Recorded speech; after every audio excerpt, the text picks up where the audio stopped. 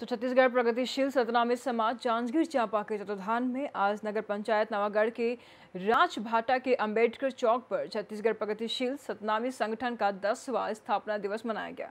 कार्यक्रम की शुरुआत सर्वप्रथम गुरु घासीदास बाबा जी की छाया प्रतीकर पर धूप दीप प्रज्वलित की गई है। उस संबंध में जिलाध्यक्ष कोमल लहरी ने बताया कि छत्तीसगढ़ प्रगतिशील सतनामी समाज का स्थापना 27 अगस्त 2012 को हुआ था, जिसका आज दसवां स्थापना दिवस मना रहे हैं।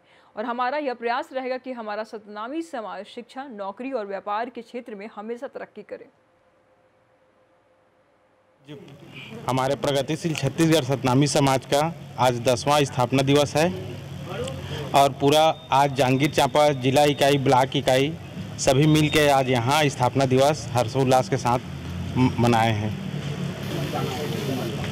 हमारे इस कार्यक्रम में जिला का उपाध्यक्ष है ब्लॉक का उपाध्यक्ष है और जी, बताना चाहेंगे कि जी है और सदस्यगण भी हैं। हम लोग स्थापना दिवस के अवसर पर यह संदेश देना चाहते हैं कि हमारे समाज सब एकजुट होकर शिक्षा स्वास्थ्य हर सुख दुख में मिलकर साथ चलेंगे।